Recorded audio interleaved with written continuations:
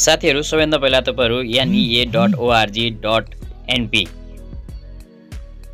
यो वेबसाइटमा जानुहोस्। वेबसाइटमा गइसकेपछि यसरी यहाँनिर नेपाल विद्युत प्राधिकरण खुल्नेछ। तपाईँले कम्प्युटरमा हुनुहुन्छ भने यो खालको इन्टरफेस देखाउनेछ यहाँनिर तपाईँले प्राप्त गर्नुहुनेछ अनलाइन एप्लिकेसन। अनलाइन एप्लिकेसन गएर ओपनमा क्लिक गर्नु होला यदि मोबाइलबाट तपाईँले गर्दै हुनुहुन्छ भने त्यो अवस्थामा तपाईँलाई मेनु भन्ने अप्सन पाउनुहुनेछ। साथीहरू यसरी मेनु यहाँनिर साइडमा देखाएको हुनेछ। तपाईँले पोर्ट्रेट मोडमा छ भने माथि देखाउला। मेनुमा क्लिक गर्नु होला मेनुमा गएपछि यहाँनिर अनलाइन एप्लिकेसन र ओपन। ओपनमा क्लिक गर्नुहोस्।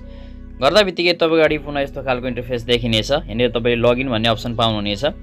लगइनमा क्लिक गर्नु होला लगइनमा गइसकेपछि साथीहरू यहाँनिर तपाईँको आइडी र पासवर्ड माग्नेछ। तपाईँले पासवर्ड भुल्नुभएको छ भने तल यहाँनिर फर्गेट पासवर्ड भन्ने अप्सन यहाँ देखाएको हुनेछ। फर्गेट पासवर्डमा क्लिक गर्नु होला फर्गेटमा क्लिक गरिसके तपाईँले आफ्नो इमेल एड्रेसलाई यहाँनिर राखिदिनु होला साथीहरू। अब साथी इमेल राखिसकेपछि गेट रिसेट लिङ्क यसमा क्लिक गर्नु होला साथी यो गरिसक्दा बित्तिकै यहाँनिर रिसेट योर पासवर्ड भनेको छ चेक इमेल भन्यो। अब हामी इमेलमा जाउँ। अब साथी माथि यहाँ इमेल आइसकेको छ तपाईँले देख्न सक्नुहुन्छ पासवर्ड रिसेट भनेर। इमेललाई खोल्छु म।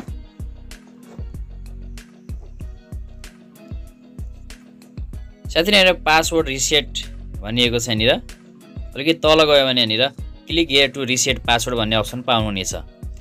अब साथीहरू यहाँ क्लिक गर्नुहोस्। Click here to reset password यसमा क्लिक गर्दा बित्तिकै तपाईँ अगाडि पुनः यस्तो खालको इन्टरफेस यहाँनिर देखेर आउनेछ अब यहाँनिर टाइप अ न्यू पासवर्ड भनिएको छ।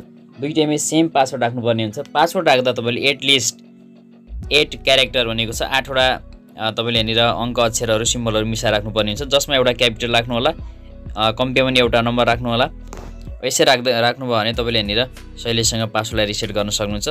अब साथीहरू यसरी राखिसकेपछि यहाँनिर सेभ भन्ने अप्सन दिएको छ सेभमा क्लिक गर्नु होला। साथीहरू यो पासवर्ड सेभड भनेको छ सक्सेसफुल्ली चेन्ज। अब तपाईँले अब यसलाई खोलेर हेरौँ एकपटक। पुनः वेबसाइटमा जानु साथीहरू लगइनमा क्लिक गर्नुहोस् र भर्खरै राखिएको इमेल र भर्खरै राखिएको जस्तै रिसेट गरिएको पासवर्डलाई राखेर यहाँनिर लगइन गरौँ।